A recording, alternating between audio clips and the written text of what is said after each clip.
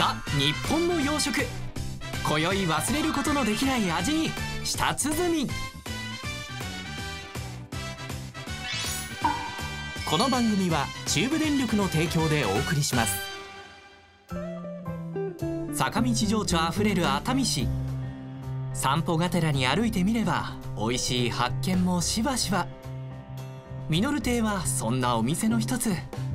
昭和30年代に創業したという老舗の洋食店です。昔食べた懐かしい味大好きだったメニューにまた出会いたい。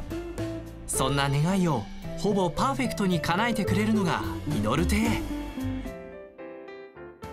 というわけでオーダーしたのは大人のお子様ランチ。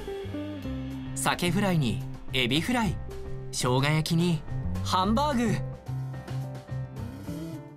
もちろんフライはタルタルソースでいただく。その味わいはまさに魔法にかかった気分です。